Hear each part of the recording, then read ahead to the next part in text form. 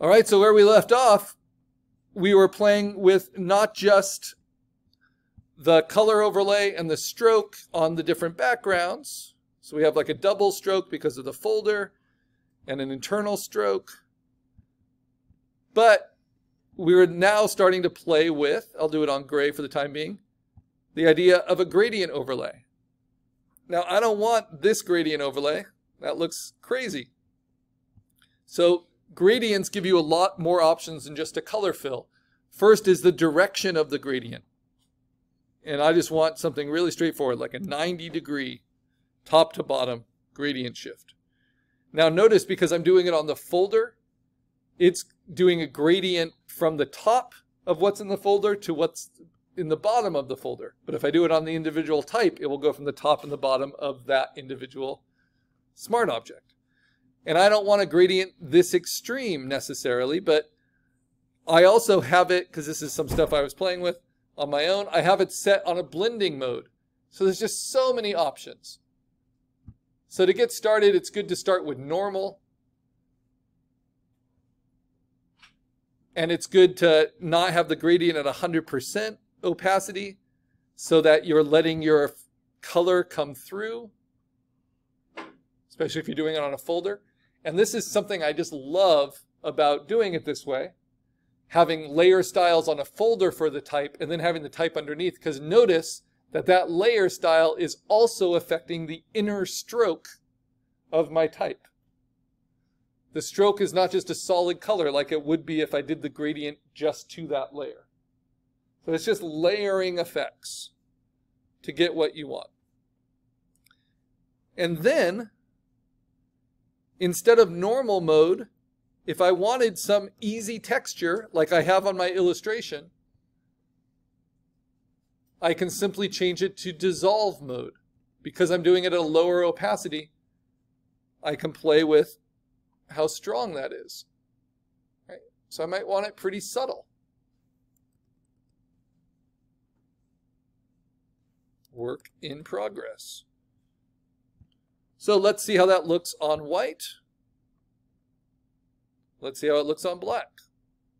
Now the only problem with dissolve is it gives you those kind of moire effects on your screen. And until you merge it all, you'll you'll keep getting those. So that it will look kind of buzzy and bright as you're zoomed out from it, but when you're seeing it at full resolution, you'll see what's actually printing. And I think that dissolve is too much, so I'm going to go to my gradient overlay. I'm going to change it from dissolve to normal and I'm going to push it up. And then I don't think I want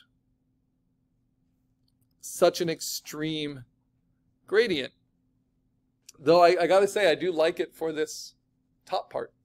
So maybe what I do is this. I turn off the gradient here for the time being. And I do it with work the gradient overlay, set it to normal mode,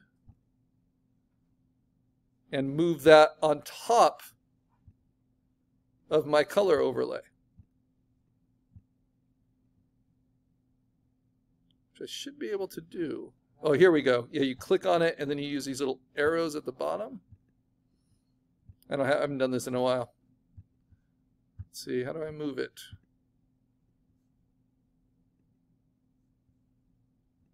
Or, if that's not working for you, this is always the nice little hack, right? Compositing. Duplicate it. Because the smart object does not take a lot of extra memory. And then go to the effects, and you just turn off the color overlay there, because it will show underneath. And then you turn it on here.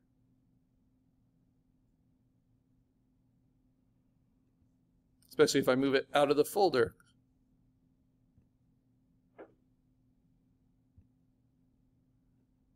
So really understanding how to work with effects is what's gonna gonna matter here with your type. I'll also turn the stroke off because that's gonna complicate things. So you can get the same benefits by just doing a duplicate layer on top as trying to do it just to the stroke. So what did I say? 90 degrees, linear, normal mode, and then I can play with the scale and then with the opacity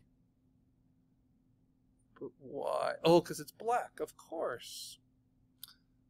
All right, here's another way I can work with this. If I liked the way this looked, just for the work, it's a little complicated, but bear with me.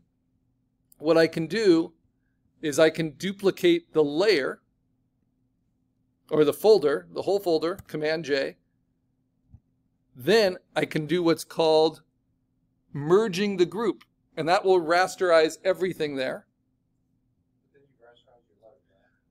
I did rasterize my letters, but they're on top of my vectors, right? All at full resolution. This is just to get this, this gradient thing that I recognize I might like, right? And then I don't need to keep it for this, which is so I can delete that from that rasterized merged group, right? And then I'm free to play with maybe reversing the gradient there so that they have that same feel. Now you also don't need to use a gradient that has so many steps in it. You can create your own gradient. And I'm just going to put a little bit of dissolve into it. Oh, don't want it on that though. So I'm going to put a little bit of, I'm going to do that exact same thing again, just to play with it. Duplicate the whole vector, merge them so they rasterize. Remember, it's a duplicate though. And then I'm going to just play with normal and dissolve, change it to a lower opacity. And what I should have done is getting rid of the stroke before that.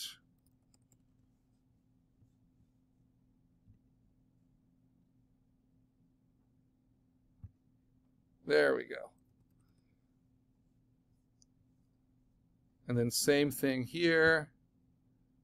Change it to dissolve. And there's no reason for me to keep that, that stroke on as I did it, but this gives me a lot of control. All right. And I've, I'm just playing with stylized versions of my type, adding gradients. And does it work on gray? It works on gray. Does it work on black? It works on black. Does it work on white? It works Maybe best of all on, on white. Though you don't get the sense of that double stroke until you get a little bit darker than white. Right. All right, so now I'm going to save it. If I'm happy with my color type, remember you can also add things like drop shadows, you can add glows, you can add all the things we are doing to our logos. Just depends what you're inspired by and what you're trying to do. But by and large, a lot of the stuff I like isn't filled with crazy gradients has kind of a simple fill and a simple stroke. This to me would be too much for what I'm doing, but you could see how you could do that with multiple strokes and then moving the type and having an offset and layering it up. Having inner shadows, outer shadows, gradients, glows. You can emboss, you can bevel, and you can see what works for your type. Now, next part is background textures.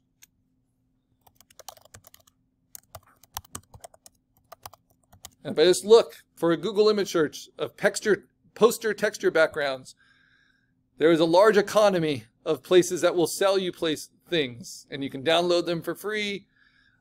Different wrinkled papers, different vintage papers, different um, like old west posters. So you could go with something like this. We could composite it. Remember, it's better if they are high res and you'll find a lot of these on Pixabay too, so you don't have to worry about copyrights with Creative Commons open things. You'll also find texture overlays that help, right? And then this one, which is from Shutterstock, so it will have really, really pesky watermarks on it. But this is one I just love. And this is a vintage halftone pattern. So I'm going to play with texturing and coloring my background by making it myself. But you can also composite it in. Right? But if I use this, I'd want to, I mean, this would be a pain to use because you have all of those little Shutterstock watermarks in there. So remember there's Pixabay. And then any designer that's worked for a while has their own collection of such things. And I have mine. It's all this. It's a collection of lots and lots of backgrounds with different patterns, different textures, risograph, halftone, some made by me with ballpoint pen, which I did for one series, and it's come in handy for lots and lots of projects. So for instance, something like this, you just drag in, and it's a nice texture, a nice, you know, it's all already. I can just move it behind the type, and then I can play with its opacity until I'm happy with it, right? And I know that will print well, it's at high resolution.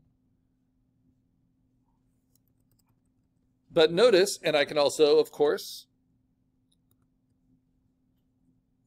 play with its proportions. But one thing we want to build in is not just a background, it's also a border. So this is a good instance where the border can be soft edged like this. This already has kind of a drop shadow border. It can be hard edged. It can have a stroke to it. All the things you do with type, you can also do with your background.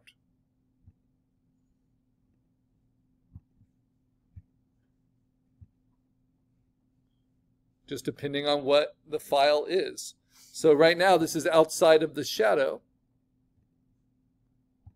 But what if I use my guides and say, okay, this is the proportion I want for my poster. But we need to build a white border in there because there's no such thing as printing all the way to the edge. There's only printing with the border and then cutting it where you want if you wanted to get that look of being printed all the way to the edge. It's called full bleed printing. Okay, so I'll move my guides. Then I will select it. Then I will duplicate it. And now it's rasterized at that opacity. But then I can also add things like a stroke around it, should I want. So a border can just be as simple, and usually is just as simple as a white edge. Here, I'll do kind of a dusty red. But you can give it a little flare if you want as well.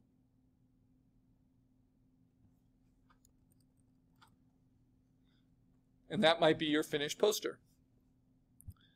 Now, what if we want to create something ourselves? If we don't want to search and search and find high quality stuff? I also like things like graph paper. You know, there's all kinds of fun found textures. You can always layer them up on top of each other as well. So let's say I take that and then I use blending modes to layer the two together.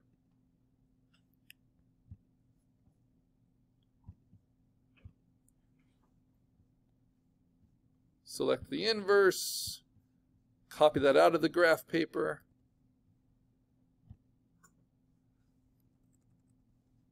And now I've got graph paper, I've got my, my gradient, I've got my little red outline, and my type shows up. Right? That's why we do it on black, white, and gray, so we can have just full freedom with these kind of background colors. But if I want to make it myself, instead of using some of the things I've found, this kind of gets us into digital painting in a really simple way. We're going to kind of paint our background. So let me turn these off for now. Start with white, make a new layer. I'll just call it background, texture. And I'm going to use not the paint bucket like we use for digital coloring, but the gradient tool. And it's just like the gradient tool in layer styles. You'll have all of your different things here. Yeah, let's try oranges. Why not? Or I like the iridescent.